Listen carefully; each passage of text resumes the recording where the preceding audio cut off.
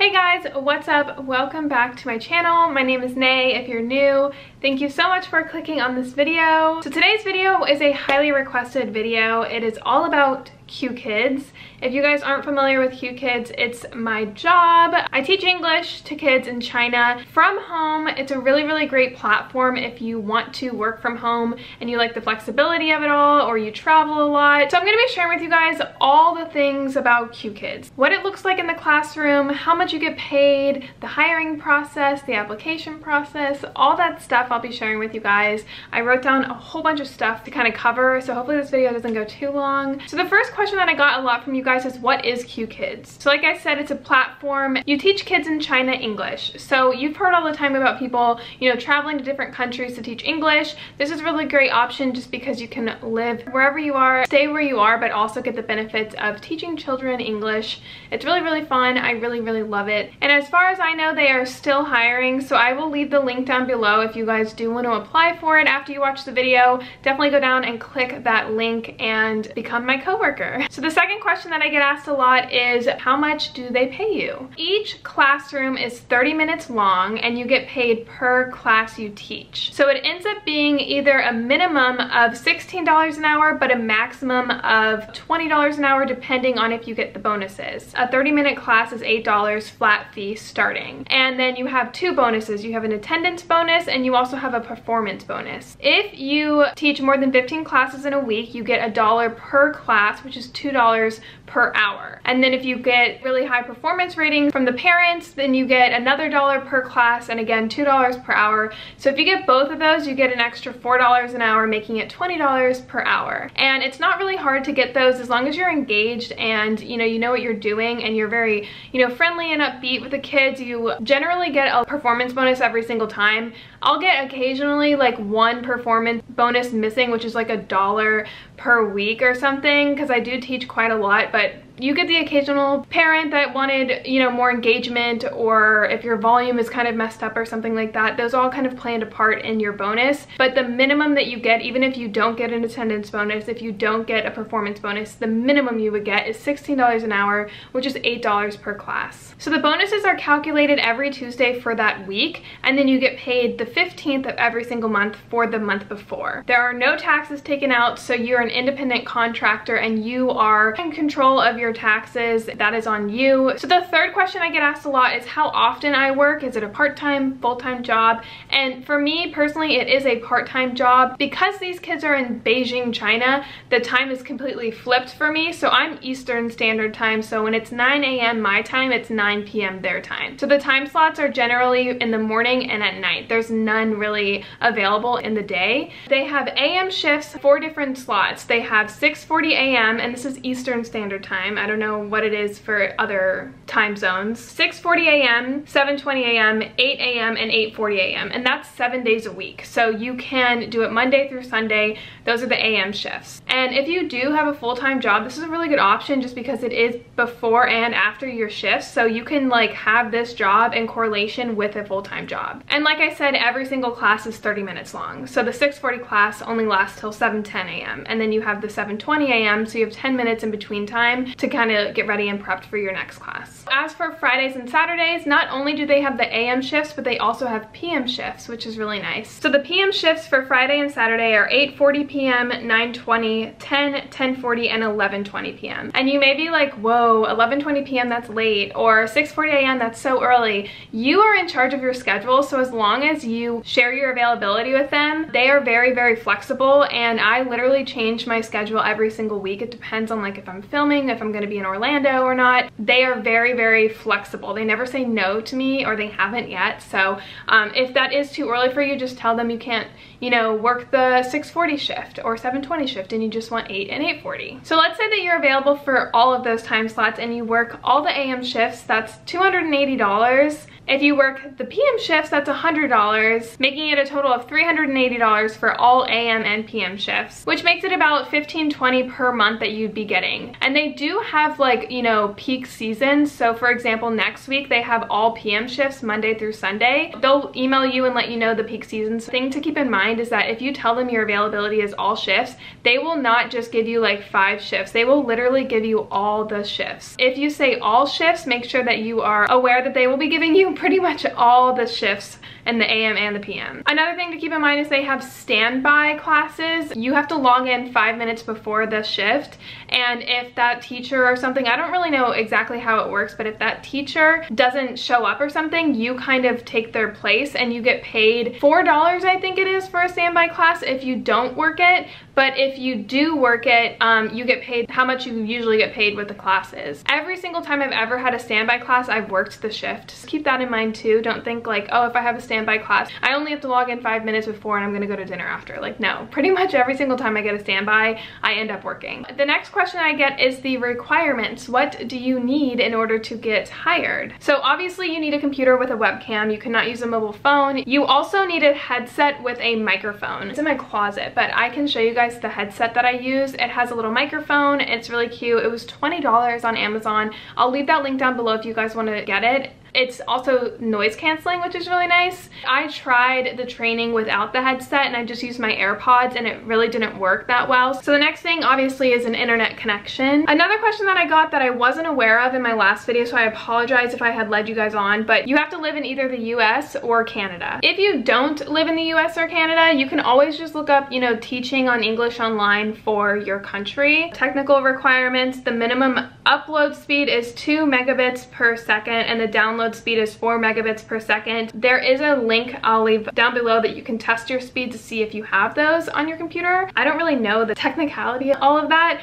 Um, just go to that link and it'll test your computer to see what your download speed is and what your upload speed is. It's also required that you work 6 hours per week minimum. If your availability is less than 6 hours, you won't get hired. And that's 12 lessons and each lesson is 30 minutes, so it's not that bad. And then you do not need to know Chinese. A lot of people ask me, how do you know Chinese? I'm like, I don't even know a word of Chinese. I do know one, it's called the yuan, which is like their dollar. I learned that from the kids. Yeah, you don't need to know Chinese. I only know English. That's the only language that I speak. I'll speak a little bit of French, but that's about it. Comment allez-vous? The hiring process. So again, I will leave the link down below to the application if you guys do want to apply. They have you send over your computer specs. So I use my Mac Air. You can use a PC or a Mac. It's not like required that you use a Mac. You also have to send over your availability. You're gonna be installing two things. You're gonna be installing the app on your computer, which is just the Q Kids app and then the WeChat app, which is on your phone, and that's your communication with whoever is your contact. And then you're also gonna need an ethernet cord to show them while you're in the training process. You just kind of have to show it to them just to prove that you do have like, you know, reliable internet connection. And then also the headset you need to have. And then obviously a mouse. I tried using my trackpad, whatever the heck this is called. That didn't work that well and it was really hard. So I just bought like a $7 mouse from Best Buy. I will leave one link down below. I'm sure I can find one on Amazon for like super cheap. So you will be required to have three interviews. So the first interview is the initial screening. This is when you put in your resume, your availability, your computer specs, but you also have to do a one to two minute video introducing yourself. Um, you can do this through uploading a video to YouTube, which a lot of people do. You can find people's like YouTube, like Q Kids hiring video online. If you just Google it on YouTube, you can see an example of what some people do. You can also just send them one like through through like QuickTime Player, through your email.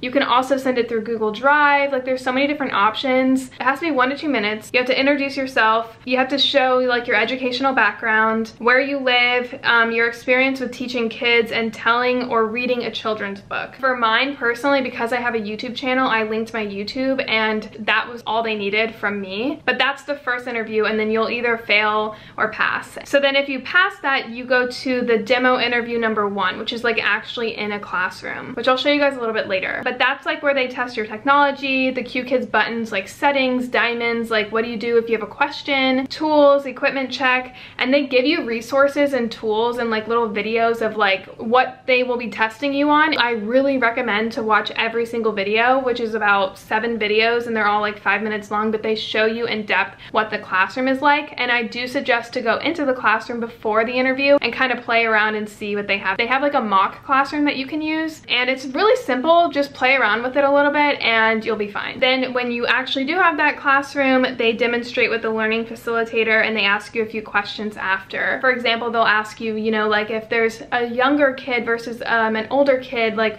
what would be the difference of how you teach them and you know why do you think you're good for this job and what's your experience teaching that kind of stuff. And then the second third interview but it's the second demo interview that's where you actually will be tested on your teaching. They check your background which is like whatever is behind you your lighting your sound your streaming. And if you pass that that's actually a paid class and you'll get $16 for both the demo interviews. If you don't pass the first demo interview, you won't get paid for that interview. But if you pass the second, you'll get paid for both. And you actually get a bonus on the second demo interview if you have a good background and you have good lighting and you're like really enthusiastic. And I just wanna share with you guys my experience with the demo interview number two is that you are kind of going through and showing your teaching. So you do have to kind of, you know, act like the kids are there and be like, oh, what's this? But you're with like a grown adult. But the weird kind of thing that I got from it was that the person who interviewed me literally acted like a kid. She would be like, okay, like, can you show me like how your teaching would be on this you know, page. And you're like, okay, what's this? And she would be like, it's Kobe. And like, she would literally act, but the minute like we talked like normal, she would snap out of it and just become like a normal adult. Like it was kind of awkward and weird, but pretend like that's like a real student. Make sure that you're super lively, enthusiastic. And again, they're gonna be showing you videos of people teaching kids and the resources before your interview. So again, I highly recommend to watch those and just be like them. And then the fourth round, it's not an interview. You will have trial classes with real students. And I honestly got so nervous when I saw the kids all there. I was like, oh my God, oh my God, oh my God. And if you mess up, like, don't worry. You can kind of like play along with it. The more you take the classes, the more comfortable you'll be, obviously. Like when I first started it, I was so scared I wasn't gonna know what to do. And every class is so different that I was like, what if I don't know something? But there's like a reference off to the side. The only thing is that the kids don't know that you're on a trial class, so you kind of have to just fake it till you make it. And of course, in the beginning I was a little bit uncomfortable, but then I got better as time progressed. Now I'm like an expert in these classes and I can take on anything that they throw at me. Um, they have like two to five trial classes. If you pass those, then you will be officially hired. I was hired after my second trial class. So now I'm gonna show you guys kind of like inside the classrooms a little bit. Here is inside the Q Kids kids' classroom.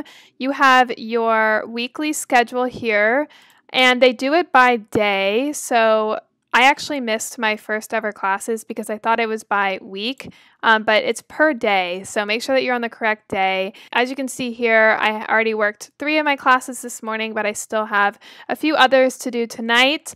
And over here on the right, it'll tell you like what lesson it is. Every lesson is a bit different, but they have the same characters. They also have the objectives here, the vocabulary, as well as like the outline. And then you also have all the students here that you'll be teaching. You teach anywhere from one to four kids. Over here, you can actually go into the classroom. So here's like all the characters you can see. So there I am. Hi. this is kind of the beginning of the classroom where you will be introducing yourself and getting to know the kids a little bit before class starts. The kids obviously are down here. That's Momo, one of the characters. And then up here you can see all the different parts of the lesson. So you kind of just work your way through them. You know, they have the introduction, which is usually just an animation and you ask them questions about like, what's this and what's this and who's this? And you can, you know, go through each different lesson. This one is learning the new vocabulary. They have these practice words where like you hide one and you kind of have to see which one's missing, like that kind of stuff. They have bingo. They have to click click on this sentence up here. So you say the sentence and they'll click on it.